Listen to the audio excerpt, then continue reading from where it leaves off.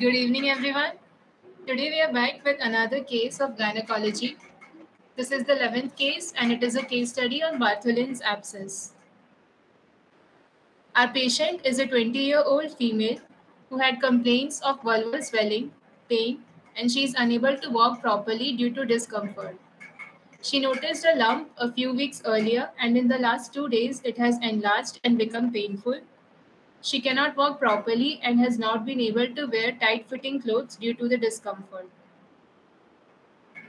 A patient is sexually active uh, and she has been active since the age of 18 years. She uses depot progesterone injection for contraception and therefore does not have periods. She has had unprotected intercourse with multiple partners.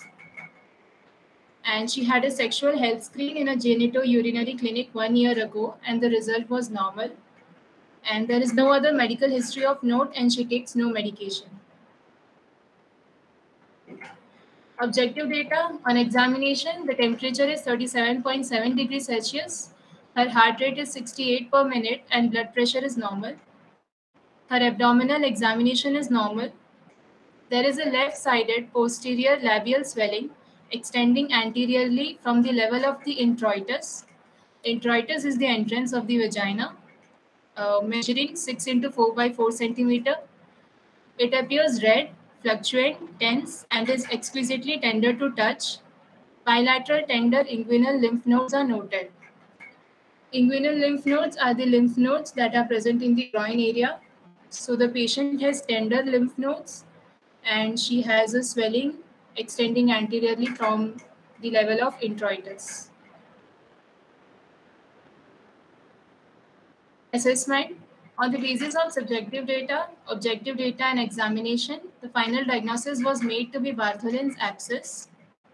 Signs and symptoms pain during walking, sitting, or sexual intercourse, also known as dyspareunia, swelling, and discomfort need of therapy in this patient to provide symptomatic relief, to prevent complications, and to prevent patient's quality of life. About the disease, uh, firstly, a little info about the Bartholin's glands.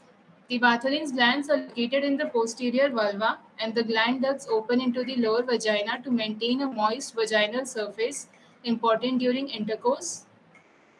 So, in this figure, this is the Bartholin's gland and it provides a moist area near the vagina. Obstruction to a duct by inflammation from friction during intercourse or infection causes a cyst to develop, which commonly becomes infected. Usually, mixed flora is found, but in 20% of cases, gonorrhea is isolated. The diagnosis is clinical and it is important to differentiate a Bartholin cyst from the differential diagnosis of a sebaceous cyst, which is caused due to accumulation of sebum under skin.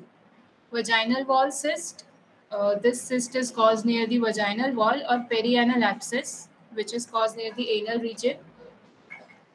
Bartholin's abscesses are relatively common and cause acute painful unilateral vulval swelling the mainstay of treatment is drainage of the abscess and marsupialization of skin edges.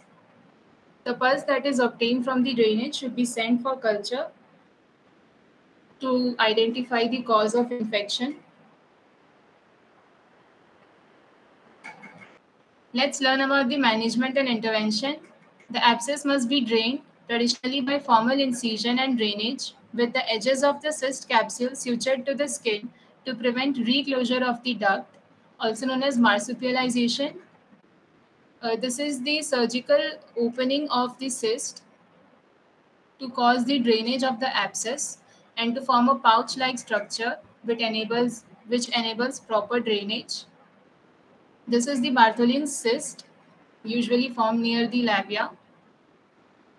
And there is a surgical cutting of the cyst performed and a pouch-like structure is formed here so that the drainage can occur. Alternatively, a word catheter can be inserted for four weeks, which acts to allow continued abscess drainage and encourage epithelialization of the tract to provide a long-term drainage route for the gland. In most cases, antibiotics are not needed after drainage unless there is surrounding erythema or systemic signs of sepsis are present. Usually, the smaller cysts are asymptomatic and they do not need drug therapy. But if the cyst is large and it is painful, especially accompanied with infections, antibiotics could be used. In this case, the girl has had several recent partners and a general sexually transmitted infection screen should be arranged after drainage of the cyst with general sexual health advice. She should also be advised that Bartholin's abscesses may recur even after marsupialization. So that's it for today's session. Thank you for watching this video and please share. Thank you.